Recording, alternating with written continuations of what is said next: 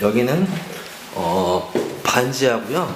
지상층도 나와서 지상층하고 같이 찍는데 똑같네요. 지상층이나 반지 하나 만 다르고 뭐 내부 뭐 스타일 옵션 색깔만 좀 다르고 똑같습니다.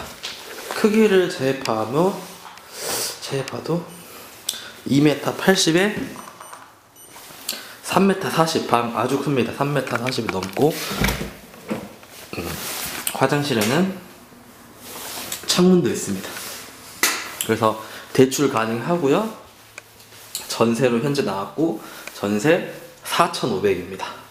반지하지만 이 정도 깔, 넓이에 깔끔하고 여가하고도 가까워요. 4,500이면 괜찮습니다. 아주 지상층이 현재 5,500으로 거의 뭐 지상층은 뭐 S급이고요.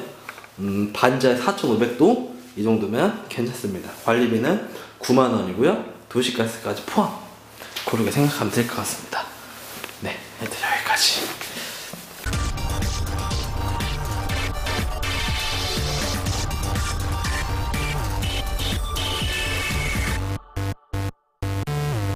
재생 목록 누르시면 어, 1000개 정도의 방 영상이 있습니다. 가격대별로 정리해놨으니까 어, 시세에는 많은 도움 될 거라고 생각합니다.